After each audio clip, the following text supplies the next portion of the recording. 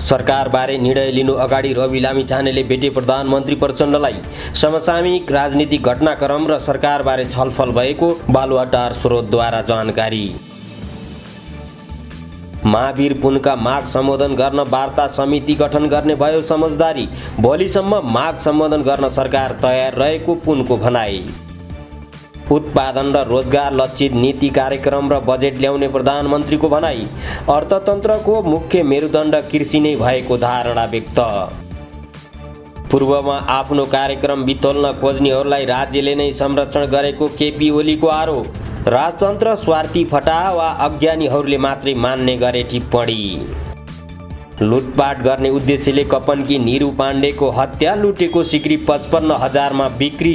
हत्या प्रकरणमा संलग्न झापाका विनोद विकलाई प्रहरले गर्यो सार्वजनिक। बैतडीमा सडक निर्माणका लागि ल्याइएको गिट्टीमा मान्छेको टाउको भेटियो। घटनाबारे अनुसन्धान भइरहेको प्रहरीद्वारा जानकारी। अरुण तिन जलविद्युत आयोजनाको ड्राइभर्सन टनेल पहिरोले पुर्यो। थुनिएको आठ घन्टापछि अरुणको पानी बाँध भरिएर निस्कियो।